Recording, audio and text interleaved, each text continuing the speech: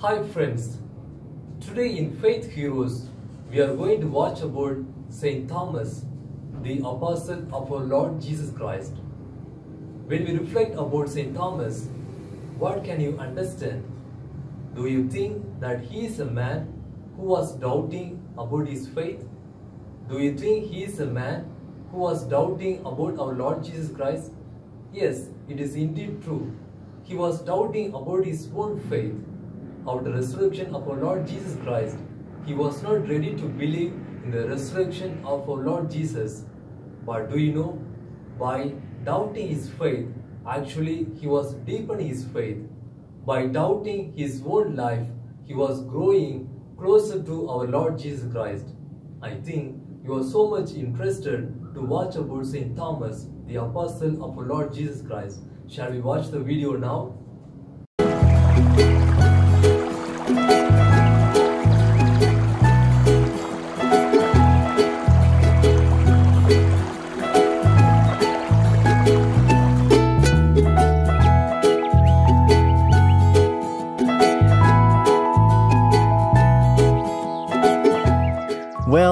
Where do I start? You are going to tell us how the phrase doubting Thomas originated. Well, Thomas, also called Didymus, was an apostle of Jesus. After Jesus rose from the dead, he appeared to his apostles while they were assembled in a room.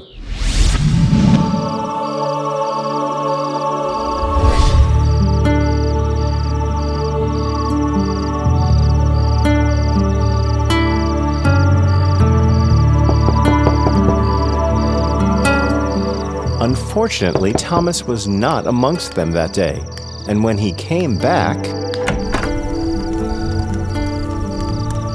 What's wrong? You look as if you have seen a ghost. Not a ghost, but we have seen our master in flesh and blood. Seen the Master? What are you saying, Peter? Yes, Thomas. Jesus was with us an hour ago. He even spoke to us. Our beloved Master, he is indeed alive. What? No, I won't believe it. Unless I see the scars of the nails in his hands and put my finger in those scars and my hand in his side. I'm not going to believe. a week later, the disciples were together again indoors, and this time Thomas was with them. Jesus came and stood among them. Thomas, come here.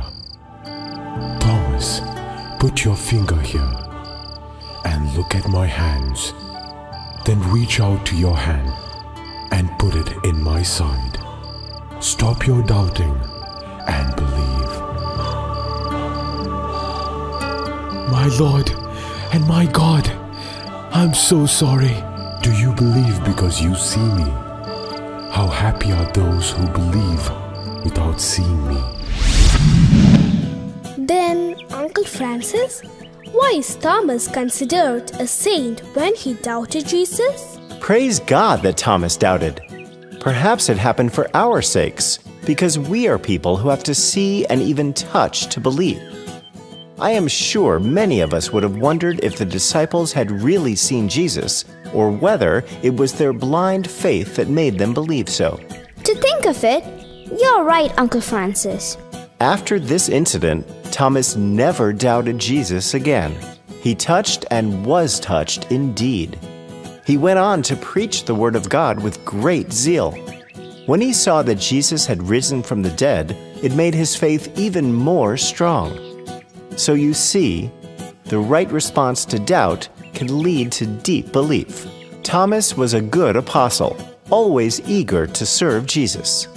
Hi friends, today we watched about Saint Thomas, the apostle of Lord Jesus Christ, how he was doubting his faith, very especially when Jesus encountered to him, how he was ready to accept him. That's what we watched about today's video. Let us also continue to watch the next video, how he was courageous enough to accept his faith, how he was willing enough to give his life for the sake of our Lord Jesus Christ. Until we watch the next video, shall we wait? Bye bye, see you